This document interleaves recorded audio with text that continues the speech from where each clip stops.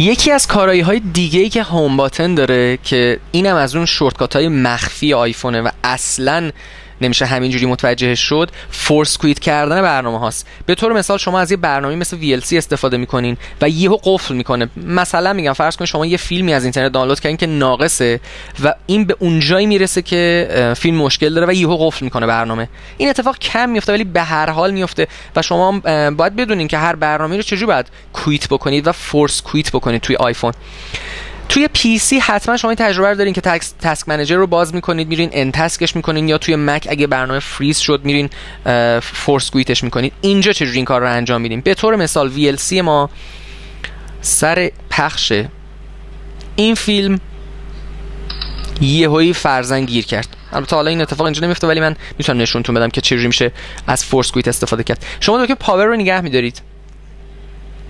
و این منو میاد. حالا به جای که اسلاید کنید یا کنسل کنید دکمه هوم رو چهار ثانیه نگه میدارید.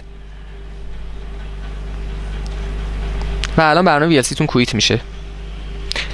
دیگه نیاز نیست شما گوشیتون خاموش روشن کنید. خیلی راحت این اتفاق می‌تونه جلوی این کار رو بگیره.